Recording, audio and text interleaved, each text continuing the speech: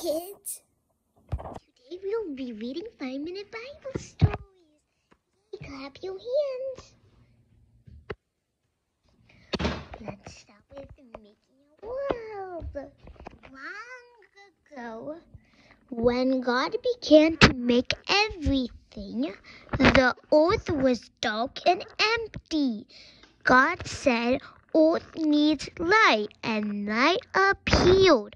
God made the sun to shine by day and the moon and stars to light the night. God was pleased with what he had done. Say this. Dear God, thank you for making your beautiful world. Amen. Have you ever seen the moon light up the, the night sky? God fills the world. God said, I will make grass and flowers and trees to cover the earth. Then he made all kinds of creatures. He made fish to swim in the rivers and seas, birds and butterflies to fill the air, and animals big and small to play on the land. Now say this Thank you, God, for all the different birds and animals and for the sounds they make. Amen.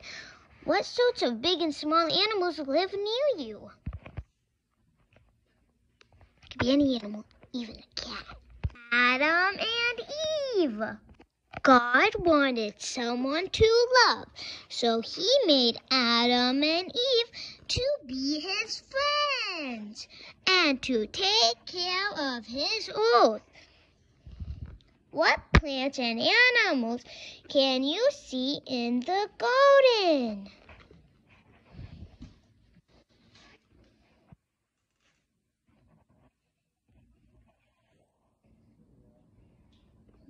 This, this, this.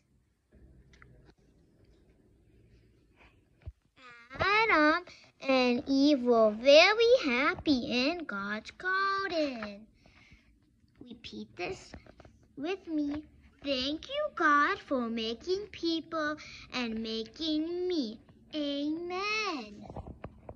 Forbidden fruit.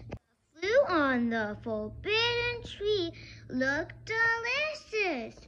Why not try it? The snake asked. But Adam, no, wait, no. But God said we would die, said Eve. Don't listen to God, the snake whispered. Repeat this. Dear God, I'm sorry for sometimes being disobedient. Please forgive me. Amen.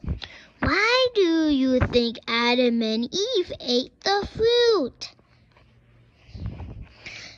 So Eve picked some and sailed with it with Adam. God was sad that they had disobeyed him. Now Adam and Eve had to leave God's garden. That's it. Now let's go somewhere else. Okay. Children, now listen to me pray.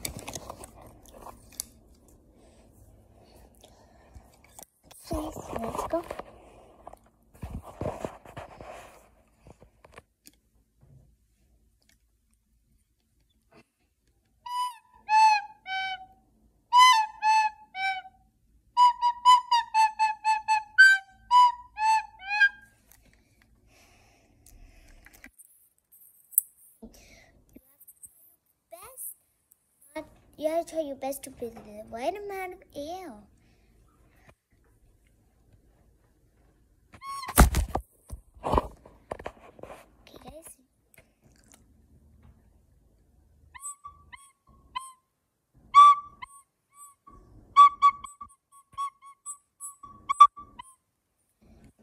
Now that might be a little bit too li that little ale.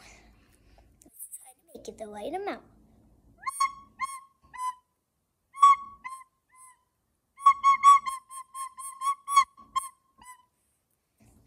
Be okay. Put that back in. Now let's learn about animals. If you see a cute little puppy, don't just pet it. It might bite you. If it bites you, it will hurt a lot. You should ask permission from the owner if it bites. Does your dog bite? No, she doesn't bite. They, they, or they might say this. Does your dog bite? Yes, and it's really painful.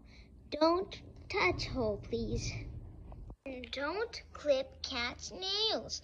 It's very, very cool to them because they need their nails. You just nails out like this and then clipped it, she won't like it. It'll, be very cool to her.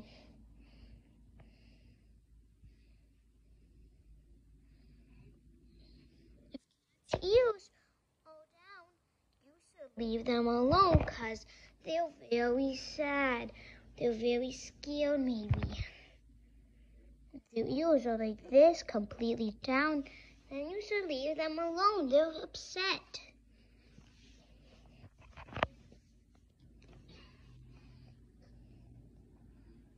If you ever get a fish, be careful what type of fish you get. If it's a betta fish, it will not get along with other fish. And if you get a betta fish, make sure it lives in, in clean water. Other fish. And if you have a normal fish, make sure it lives in salt water, not clean water. Betta fish don't get along with any type of fish. And if they puff up, that means they don't like something. Like he just puffed up. You didn't see it. Hello, everyone. Do not judge each other with how they look. Give them a second chance. Don't judge them by how they look. Don't judge them by their skin color, their voice, or what they're wearing, or how they look like. Do not just a cover of a book. Hi, do you want to play? No.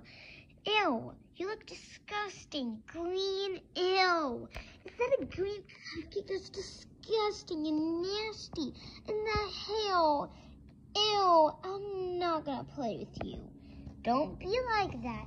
Instead, be like this. Do you wanna play? Um, okay, so I'll play with you. Why is your hair green?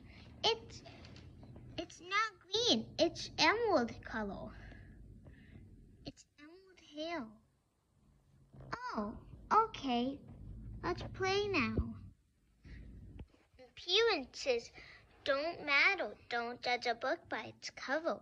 If you see a kid kid with green hair and you don't like it and they ask to play, just say so. Ask them, um, is your favorite color green? Don't be mean and say, ew, no, I don't want to play with you. Your hair is so gross. That will hurt their feelings.